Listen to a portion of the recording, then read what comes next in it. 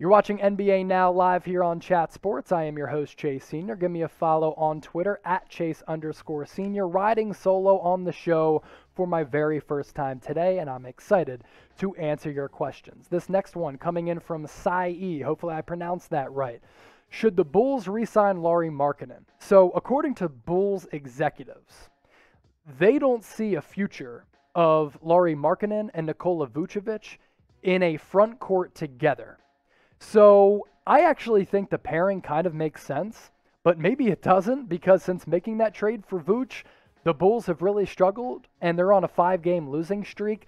So he's going to be a restricted free agent. That's also the thing. There's going to be a team out there that's going to offer him a huge contract. Next question coming in from Style Stunner 55 Is Steph Curry the favorite for MVP? According to odds makers and according to Vegas, Steph Curry is not currently the MVP. It is Nikola Jokic, who is leading the MVP odds race right now, followed by James Harden, Joel Embiid, LeBron James, and Giannis. So, yeah, going back to that question, I don't think Steph is the favorite for MVP. Do you believe the Orlando Magic could be a team to watch out for with their new young group? So, cash out Isaiah, I appreciate the question. I actually liked what the Orlando Magic did on NBA trade deadline day. I thought that was a franchise that really needed to just reboot, reset, and start rebuilding. And how do you do that? You get assets back for Nikola Vucevic and Aaron Gordon. And they got first round picks back. They got young players to build around. And they're also going to net a pretty good draft pick coming up here in 2021. So I do believe that the Magic are a team to watch out for, maybe not just for a couple of seasons. Jay Moose chiming in. There is no way Steph Curry is leaving the Warriors for the Lakers. The media is just making this false report because they want it to happen. So, Jay, we've talked about that here at Chat Sports on both our Warriors channel and our Lakers channel. And the reason we do that is because of this. Like when Brian Windhorst says that LeBron has started recruiting Steph Curry, Brian Windhorst has been covering LeBron James going back to his St. Vincent St. Mary days in high school. So he knows LeBron well, maybe better than any, any media member out there. So he has intel on what's going on. Now, of course, the chances of Steph leaving the Warriors very, very slim. But when there are reports and rumblings and former players and well-respected reporters are saying Steph didn't sign his extension, Warriors are struggling right now, Klay got hurt again, maybe he leaves after next season, there is a remote possibility. So I don't think it's going to happen, but I think it's something to watch and look out for. And if it does happen, where Steph Curry leaves the Warriors, I wouldn't be overly shocked. Plus, he's going to be like 35 years old at that point anyway. Next question coming in from Terry Two Tones. Say that 10 times fast. Celtics should have traded for a big.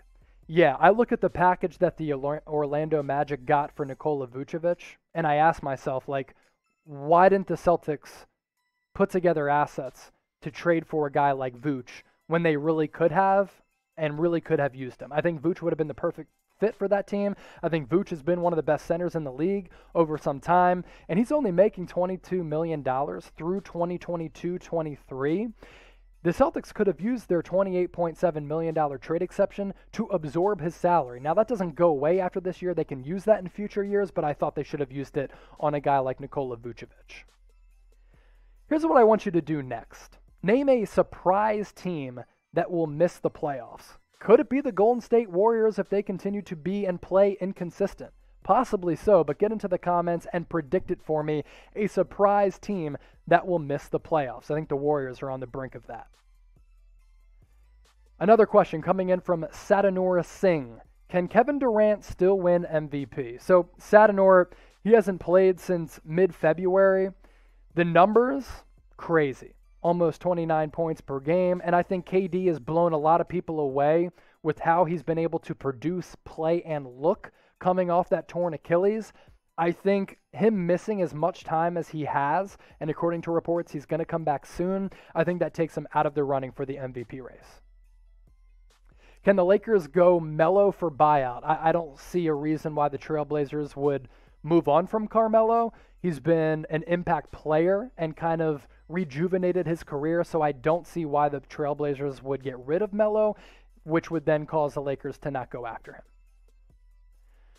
Franco Leonardis coming in with the question Will OKC make a big move in this offseason or draft or not draft at all? Well, Franco, uh, they need to make some draft choices because they have so many over the next couple of seasons.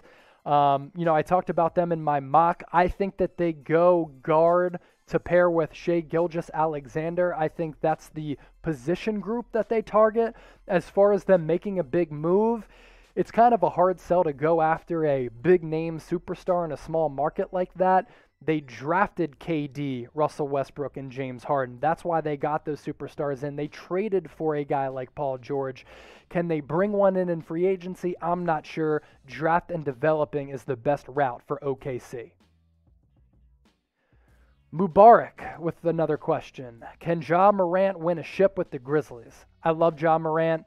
I think he's one of the bright young superstars in the NBA right now. From an athletic standpoint, he's like a more in control Russell Westbrook.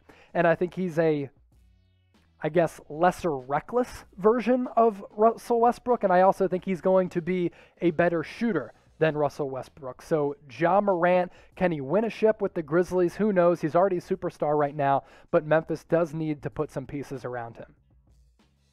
Next question on the Q&A coming in from Alonzo Harris.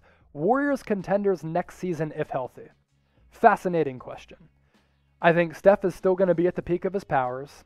We've seen a little bit of a dip in Draymond Green's game, but there's no doubt he's still very impactful in terms of defense, strategy, smarts, intelligence, and all that stuff. And in the locker room, it really is all bridged on Klay Thompson.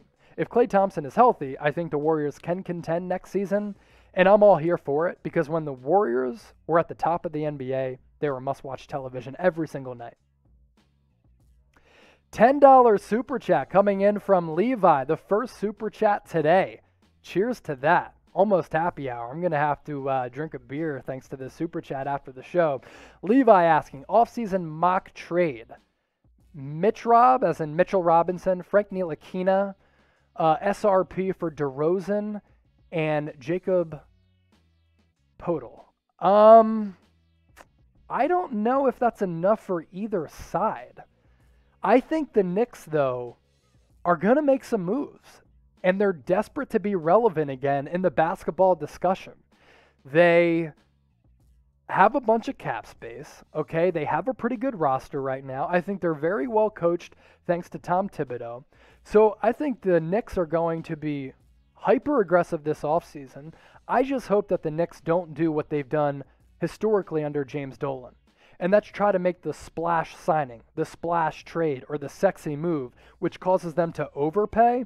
As long as they are smart about their decisions under this new management, I like the future of the Knicks. I'm not sure that trade makes sense for either party. So you tuned in because you want to talk some basketball, you want to hear some basketball chatter about what's happening across the league, and you want to find out who is going in our NBA lottery mock draft. But if you want to stay up to date with the latest news that's happening in your city, in your county, in your zip code, head to chatsports.com slash newsbreak and support one of our sponsors because you can get the latest on news happening in your neighborhood, politics, sports, really anything that's going on in the world Newsbreak is going to bring you the latest, and it's all very hyper local. So, hey, if you're watching from Winnipeg, like Sadner Singh, hop onto the Newsbreak app and you can find out all of the happenings that's going on in Winnipeg. Or if you're in San Bernardino, California, like Thomas Shaughnessy, you go onto the Newsbreak app and all you have to do is enter your location and basically it filters everything that's happening hyper local to you. So again, that's chatsports.com slash newsbreak. We move forward with this Q&A mailbag from Jack Mello. What do the Celtics need to do to be serious contenders? I'm baffled, Jack Mello, as to what has happened to the Boston Celtics. We're talking about a team that made it to the Eastern Conference Finals last year. The question that somebody asked me a couple days ago the Celtics' run to the Eastern Conference Finals last year, was that a product of them being in the bubble with having to deal with like less pressure with no fan bases. I don't know. They were really good, and I like the core of the team. I think Jaylen Brown and Jayson Tatum, like they're two budding superstars.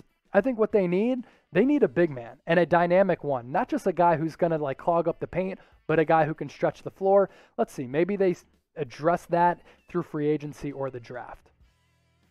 Next question coming from Elmac. Would the Pacers take Dinwiddie for Myles Turner in an offseason trade? It's not a bad deal. Um, you know, you look at the Brooklyn Nets roster, they do need a center because I think DeAndre Jordan's best days are behind him. Myles Turner is a younger option. He'll be more expensive, but Myles Turner for Spencer Dinwiddie, not a bad trade, especially if you're looking for a playmaking guard at the guard spot, which is what Spencer Dinwiddie is when he is fully healthy. Is currently coming back from a partially torn ACL. Here at Chat Sports, hey, we're closing in on 240,000 YouTube subscribers. So if you want more NBA news, rumors, coverage across the entire NBA, more mock drafts, this is what I want you to do. Hit that big red button down below. You can also subscribe by going to youtube.com slash chatsportstv. If you're a fan of what we're doing here, if you enjoy and like what you're seeing, support us. How do you do that? You do that by subscribing and helping us get to 240,000 subscribers. So hit that big red button down below or go to youtube.com slash chatsportstv. Let's get to another question. This one coming in from Jerry. Who should the Heat go for in the buyout market? I hear they are looking for another center. Will they bring Whiteside back? I think the Heat right now are actually pretty stacked. Um, you know, they went out and they acquired Trevor Ariza. They acquired Nemanja Bjelica. They acquired Victor Oladipo. I guess if you were to look at a need on that team, and they've kind of been below expectations for a variety of reasons record-wise, I think that they can make a run in the Eastern Conference playoffs. I guess if you're looking at a spot that they could upgrade at, it would be a center behind Bam. So maybe they look at a guy like Drummond, but I'm not sure there's going to be a reunion there. Um, Hassan Whiteside is one is the name that I meant to meant to mention there. Hassan Whiteside. I'm not sure if they go for a reunion there. Um, I think it's a remote possibility if he could come in and back up Bam Adebayo at this point in his career. Won't demand that much salary. He can score down low on the low block and give you some rebounds as well. Next question coming in from Don Lovato. Can the Lakers do a sign and trade with Dennis to the Bulls. He's speaking of Dennis Schroeder right there. Maybe, well, actually, so Don, Dennis Schroeder is going to be a free agent after the season. So there is no need to do a sign and trade. And if you missed it, last Thursday was the NBA trade deadline. So no teams can make trades anymore. That deadline has passed. So after this season, according to reports, Dennis Schroeder is interested in the Bulls. Bulls interested in Schroeder. He could walk from LA, and then you might get your guy. Another question coming in from Jackson Fulton 27. What are three, three realistic trades for Karl-Anthony Towns? I think KAT is going to stay with the Minnesota Timberwolves, especially if they land a top three pick. Now, you might be saying, it's time to rebuild. It's time to pull the plug. A lot has happened to KAT personally. He lost his mom due to COVID. His dad got COVID, I think. KAT also got COVID as well. So a lot has happened to him with the Minnesota Timberwolves. If I'm running that franchise, I'm holding on to him because I think that's the best opportunity to rebuild. So I don't. I, I think the Timberwolves are going to hold on to him. I, I don't see them trading him. Acri is coming in with a question. Appreciate that. What are some realistic destinations DeRozan could sign with? Maybe a veteran deal with a team like the New York Knicks. Maybe he goes to a title contender. Maybe he goes to a team where he doesn't have to be a primary option anymore. Uh, this point in his career, I know DeMar DeRozan is averaging almost 21 points per game, but the game of basketball has kind of passed him by. Doesn't shoot any threes. So he, he can't be your primary go to option down the stretch, but as a secondary or third option for a contender next season, very interesting. Hey, maybe the Dallas Mavericks would be interested. We'll see. Nola Pelicans fan chiming in with another question as we round this out. Should the Pelicans trade Eric Bledsoe and Steven Adams in the offseason? Steven Adams' contract is brutal.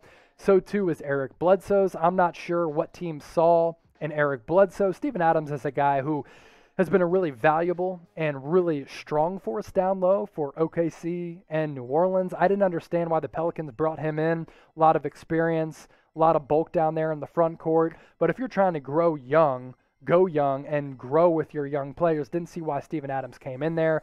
I think they could try to trade both of those guys, but the question is, what are you going to get back? James DeBono. Beal for Lauri Markkanen, Coby White, and two first round picks. I actually like that trade proposal. I think you might need to put another first round pick in there for this reason. Bradley Beal, one of the best scorers that we've ever seen in the history of the NBA. I think the Washington Wizards would want much more in a package back for Bradley Beal if they were to ship him out. You can build with Markkanen. I like Coby White. He can start or he can come in off the bench. I'd like to get to three first round picks if I'm the Washington Wizards. Last question from Jur. D Rose back to the Bulls to fill up the point guard gap. Uh, I don't see it happening. I think that ship has sailed. I don't think the Bulls are up for a reunion. I think they brought in Nikola Vucevic because they want to see if they can build a playoff contending team alongside Vucevic, with Zach LaVine. I don't see why it would make sense to bring back D Rose when, other than Vooch, you're trying to build a young team. So I don't see a reunion happening there.